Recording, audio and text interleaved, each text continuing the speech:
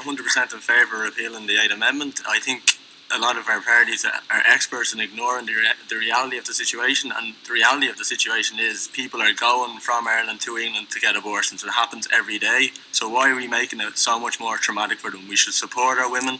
We should trust our women. I find it ironic that Lucinda Creighton and Renua want a conscience clause for TDs, but they won't let individual women on the ground have a conscience clause for themselves. They should have Well, Vincent, I'm the mother of a 20 year old young woman for her, for her friends, um, and for the generations to come because it's, it's too late for people uh, my age. I would support the repeal of the Eighth Amendment.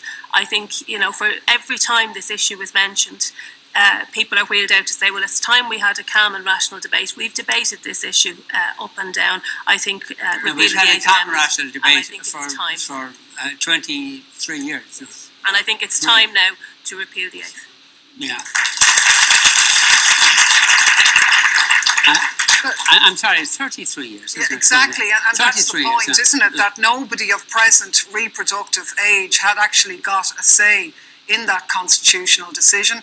Meanwhile, Irish abortion is continuing every day, just not in Ireland, which is hypocritical. It's going back to the days of the Magdalen laundries, the denials, and so on. And there's no other health or medical procedure that's actually outlawed or prohibited in our constitution. Now, I think it's very important to say I respect anybody who has a viewpoint who believes that they personally, uh, you know, are anti-abortion or whatever. But nobody is forcing people of that view to have an abortion. What this is necessary for is to get rid of the Eighth Amendment. It can be either uh, legislation or regulation to provide for free, safe, legal abortion for all of the circumstances that women choose. Because the women who have abortions are the women who have babies. They're your mothers, your sisters, your daughters, and they do so for very good reasons, known only to themselves. And we should respect that and support those decisions. And I think okay. that is what Irish the, people the, want. The abortion issue is a complex one because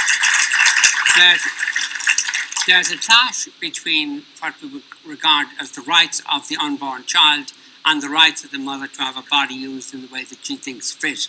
Um, but there is that clash, and should our laws in any way protect the entitlements of the child involved?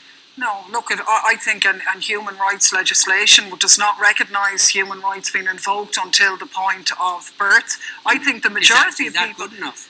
I think it is because you see, the majority of people um, would view that, and I, I, suppose we call it, it's been referred to as the unborn child. It's a fetus. It's a small group of cells. It is part of the woman's and life when, when, and when body, which has no. When does the unborn child become a, a human being entitled? entitled well, it, we, we can debate these things when it's capable of independently living. Oh, really? So yeah. you, were, you you then yeah. you then think there should be protection up no. to the uh, no, uh, I, what uh, I believe beyond the point of of whatever six months or whatever when the child is no, I think you have to look living. at the facts, right? Which is no woman goes through six, seven, eight months of pregnancy and then turns around and says, you know, oh, I couldn't be bothered. I think I'll have an abortion. If there's a case for a late abortion, which are rare, and to be honest, countries like Ireland force people to have later abortions by not providing access to the treatment here in Ireland. That's a fact. But late abortions generally come in tragic circumstances where the woman's life or the life of the fetus is at risk. Uh, otherwise, people would have made the decision earlier. It's only our lack of legislation that okay. denies. Could I just one thing? Obviously, Irish people agree with this, Vincent, because people voted by about 90% to allow women to travel for an abortion. If they thought they were travelling for murder, they wouldn't have voted like that. People understand it's a complex issue. A woman knows her own body.